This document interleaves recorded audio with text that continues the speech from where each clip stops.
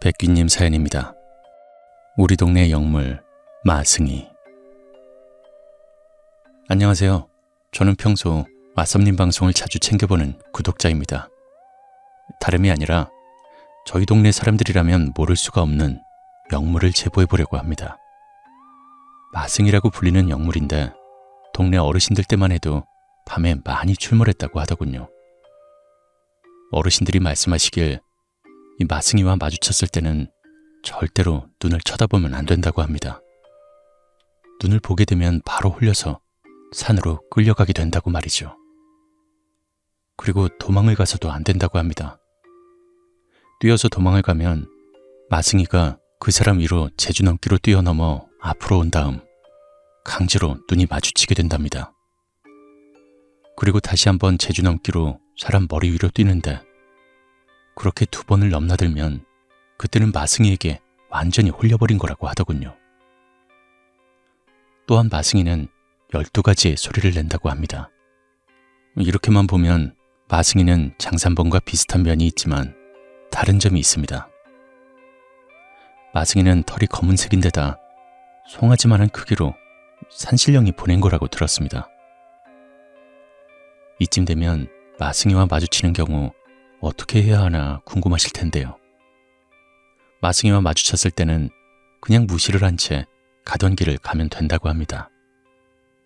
그러면 마승이가 뒤에서 쫓아와 집에 들어가는 것까지 보는데 이는 마승이가 그냥 집까지 데려다 주는 거라는 말이 있습니다.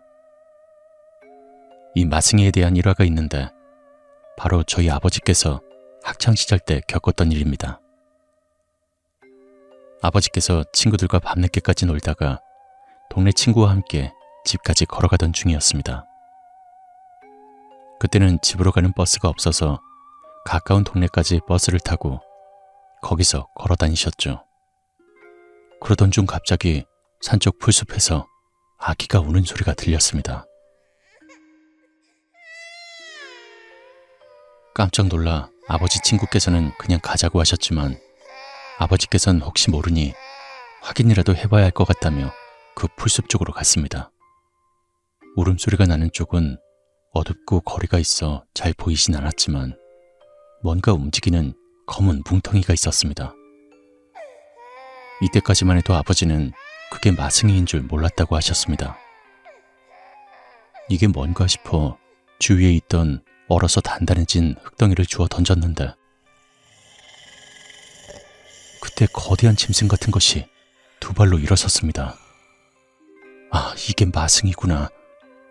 그렇게 마승이란 걸 깨달은 아버지께서는 빠른 걸음으로 산을 내려왔습니다.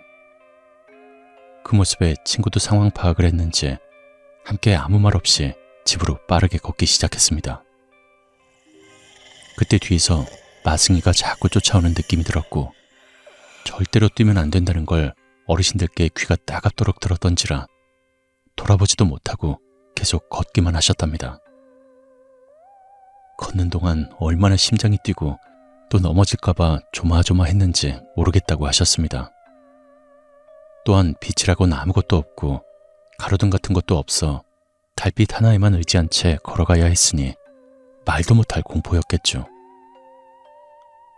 그렇게 앞만 보며 걷고 있는데 이상하게도 발에 돌이라도 달아든 듯 천근만근인데다가 어둠 속에서 자꾸 물체가 일렁이는 것처럼 보였다고 합니다. 겨우 집에 도착해 대문을 걸어 잠그고 대문 틈 사이로 슬쩍 밖을 보았는데 멀리 어둠 속에서 마승이의 두 눈만 빛나고 있는 게 보였습니다.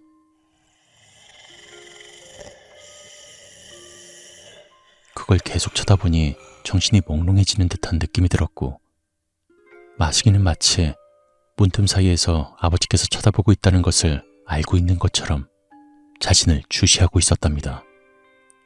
그때 친구분께서 자신도 보겠다며 아버지를 툭 쳤고 아버지는 그제서야 정신이 번쩍 깨는 것을 느끼셨습니다.